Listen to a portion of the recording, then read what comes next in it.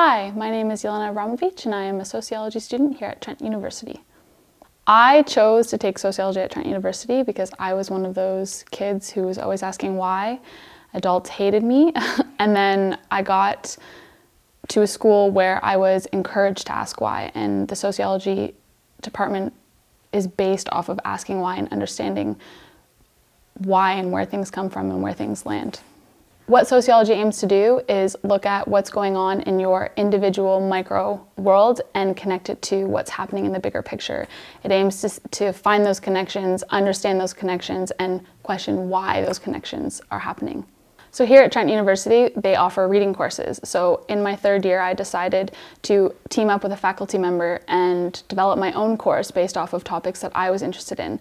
And he put together a beautiful course based off of a combination of sociology and philosophical concepts that really helped me dive into modernization and decolonizing modernization and where the position of the other lies and why there's a norm and why there's not a norm, the other, the inequality. It's a very great course. For my future, after switching to the sociology department and getting involved with the faculty one-on-one, -on -one, I decided that that's what I want to do. I want to sit at the front of a class and talk to students and engage with active critical minds and teach them about the beginnings of society and the origins and where we're going and how we got here. And I want to see the same excitement that I felt when I was talked to and approached in them. And I want to inspire that and I want to help foster and create that for future generations.